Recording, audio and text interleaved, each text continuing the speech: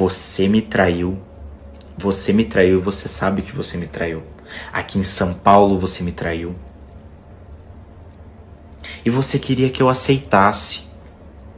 Você queria que eu aceitasse. E você é uma pessoa abusiva. Você é abusiva. E quem tá contigo, sua maquiadora, a Anne que tava comentando sua live, fala, sabe que você é abusiva. Que mal, você maltrata os funcionários. Que você vai lá pra Rede Globo, trata a camareira como se fosse ah, a melhor pessoa do mundo, porque você quer network na Globo que você vai lá, que você fica dando negócio para site fofoca. Não sou eu não, tá, meu bem?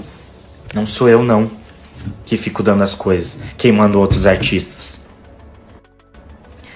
Jojo, mas sinceramente posso te aconselhar, você tem que pensar mais na sua vida, no seu. Se você tá indo para a faculdade, vai. Cuida mais do seu, cuida da sua família que você posta tanto nas redes sociais aí,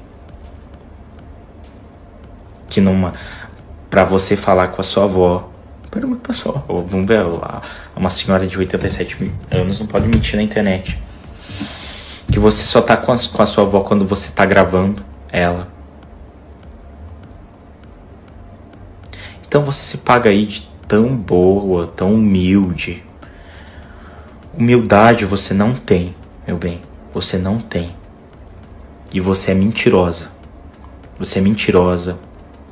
Você arquiteta as coisas para sair bem. Meu bem, a minha vida já seguiu há muito tempo já. Porém, porém, é inevitável falar sobre esse assunto. Então, assuma os seus BOs. Porque eu sou homem. Eu sou homem para assumir quem for preciso eu assumir. Eu assumo quem eu quero. E você sabe os sentimentos que eu tinha por você. Você sabe, você é a única pessoa que sabe comportamentos que eu tinha com você, o jeito que eu te tratava.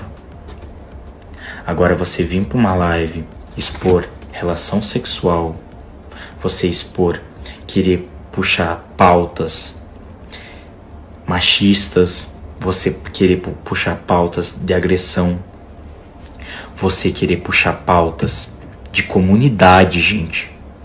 Olha, olha o nível da pessoa. Você querer puxar tudo isso pra eu ser cancelado e não ter. Porque um agressor, ele não tem